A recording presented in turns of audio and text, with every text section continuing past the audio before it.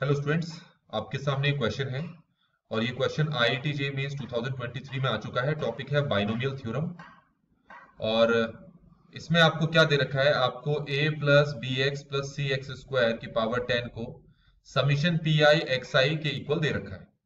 आपको p1 और p2 की वैल्यू दे रखी है और इसकी वैल्यू आपको फाइंड आउट करने के लिए कहा है। पॉज करके एक बार आप क्वेश्चन को दोबारा देख सकते हैं। अब इसको कैसे करेंगे? सबसे पहले आपको ये जो टर्म दे रखी है, इसकी आपको जनरल टर्म फाइंड आउट करनी पड़ेगी। क्या लिखा है? जरा मैं एक बार यहाँ लिख देता हूँ। A plus B X plus C X square की पावर टेन तो इसकी मैं जनरल टर्म लिख लेता हूँ। इसकी जनरल टर्म होगी टेन फैक्टोरियल ओवर ध्यान रखना P factorial Q factorial R factorial अब ये पी क्यू आर क्या है? जो आपके पास यहाँ पर तीन टर्म्स हैं। पहला क्या है? A a की पावर p फिर आपके पास क्या है? बी एक्स बी एक्स की पावर q फिर आपके पास C X square C X square की पावर r तो ये इसकी हो जाएगी जनरल टर्म लेकिन मान लो अगर ये सिर्फ़ इतना होता, a प्लस बी एक्स की पावर 10 तो इसकी जनरल टर्म भी इसी तरीके से लिखते। कैसे लिखते? 10 factorial over p factorial q factorial a की पावर p और बी एक्स की पावर q. फ़र्क इतना होता कि यहाँ पर तीन टर्म्स हैं तो यहाँ पर तीन पावर्स लिखेंगे जो कि यहाँ पर a की पावर b एक्स की पावर और सी एक्स की पावर के रूप में दिखाई देगा। ये भी आपको ध्यान रखना है कि ये जितनी भी पावर्स हैं, इनका जो सम है वो टेन ही होगा। लेकिन बगल में जो मैंने ये दिखा रखा है समझाने के लिए, इसमें सिर्फ़ और सिर्फ़ p और q की पावर जो है वो टेन होगी। अब ये कहाँ से आया? आपने जो इलेवेंथ में पढ़ रखा है, कैसे आप जनरल टर्म निकालते हैं? टी आर प्लस वन क्या निकालते हैं? मैं करके दिखाता हूँ। टेन सी आर ए की पावर टेन माइनस आर और क्या लिखते हैं? बी एक्स की पावर क्या लिखते हैं हम? आर लिखते हैं ना?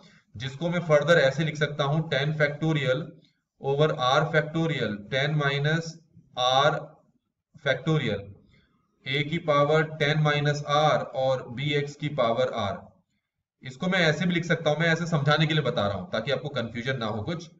टेन फैक्टोरियल आर फैक्टोरियल तो एज इट इज़ रहने दो। ये जो टेन माइनस आर है, इसकी इसकी जगह मैं सपोज़ क्यू रख देता हूँ तो ये क्यू फैक्टोरियल हो गया। तो यहाँ पर भी टेन माइनस आर की जगह क्यू हो जाएगा, और यहाँ पर जो ये बी एक्स है, इसकी पावर आर रहेगी। ठीक हो गया? बस आपको इतना ध्यान रखना है कि ये जो r प्लस क्यू है, दोनों पावर्स का सम 10 होगा। तभी तो q जो है 10 माइनस आर के इक्वल है। ये समझ में आ गया होगा? अब तीन के लिए हम इस तरीके से लिखेंगे। तो ये आपको पूरी बात समझ में आ गई होगी कि हमने एक चीज़ कैसे लिखी है। ठीक हो गया? अब अगर आप देखो तो ये तो हमने इसकी जनरल टर्म लिख रखी है।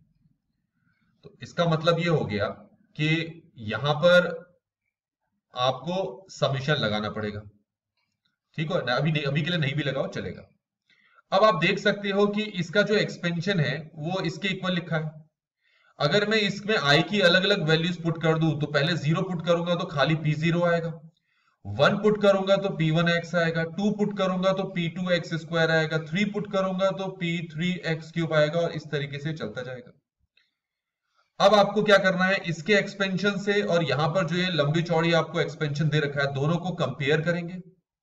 मतलब दोनों में जो x का कोफिशियंट है, उसको कंपेयर करेंगे। दोनों में एक्स स्क्वायर का जो कोफिशियंट है, उनको कंपेयर करेंगे। तो जरा मैं यहाँ तक पहुँचा था। सबसे पहले मुझे x के कोफिशियंट को कंपेयर करना है। ध्यान रखना, मैंने ऊपर लिख दिया है कि ये p0 p1x और p2x स्क्वायर के बराबर है डॉट डॉट डॉट तो सबसे पहले मुझे ये चाहिए कि इसमें इस पूरे में मैं x का कोफिशियंट कैसे लाऊँगा?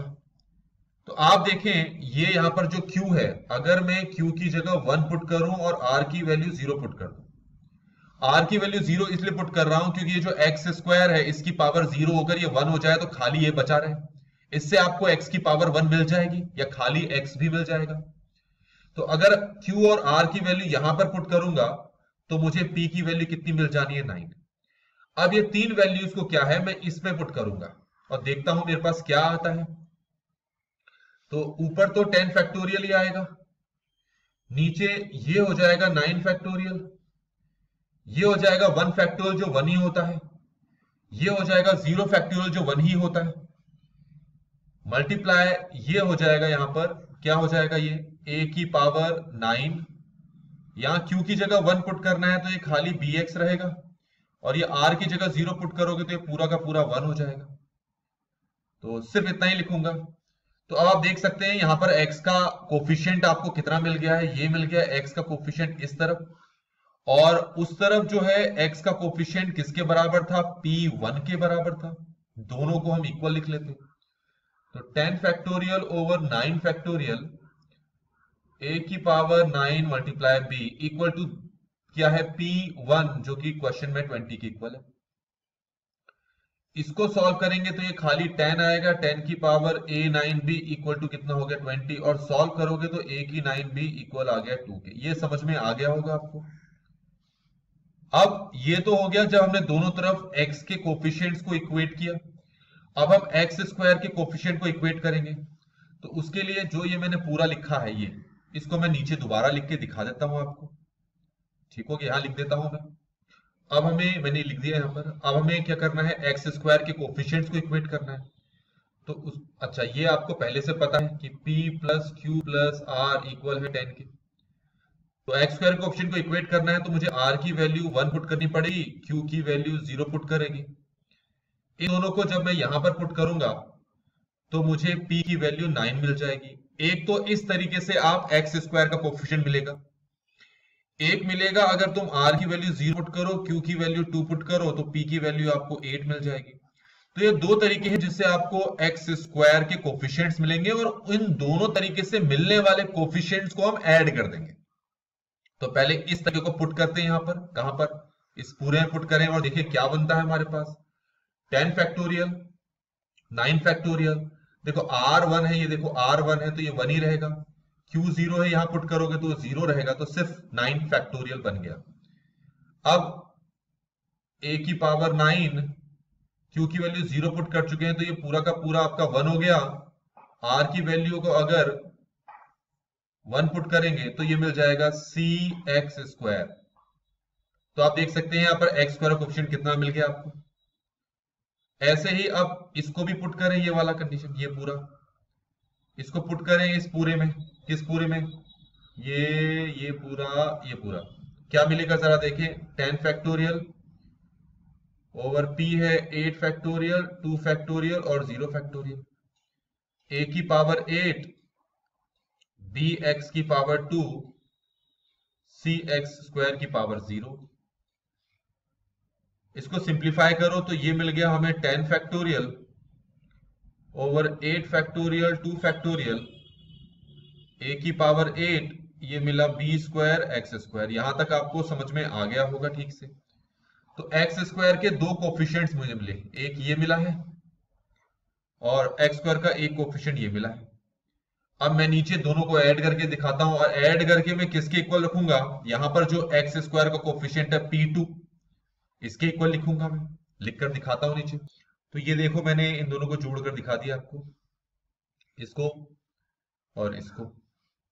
P2 क्वेश्चन में अगर देखोगे तो 210 रखा है।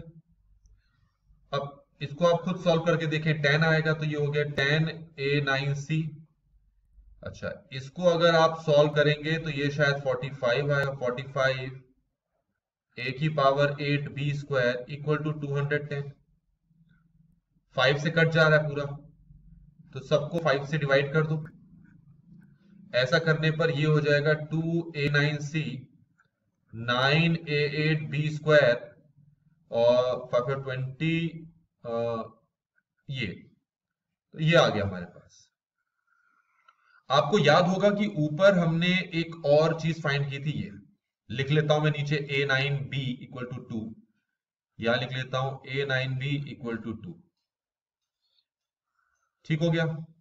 अब प्रॉब्लम ये है कि अगर आप इन दोनों को नॉर्मली सॉल्व करना चाहते हो तो उतना आसान नहीं है तो हम अपनी तरफ़ से कुछ वैल्यूज़ पुट करके इसको सॉल्व करने की कोशिश करेंगे। तो मैं सपोज़ कर लेता हूँ ए यहाँ पर वन है, इस वाले में। क्यों? क्योंकि ए की पावर ही ज़्यादा है तो ए को वन मान लेते हैं।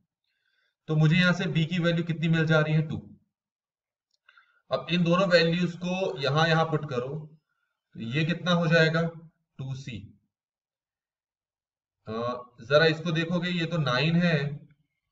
बी की वैल्यू टू यहाँ पर पुट करो तो टू का स्क्वायर हो जाएगा four equal to forty two ये हो जाएगा थर्टी सिक्स वहाँ ले जाके इसके साथ माइनस करोगे तो ये सिक्स आएगा और यहाँ से सी सी की वैल्यू कितनी मिल जाएगी? थ्री मिल जाएगी।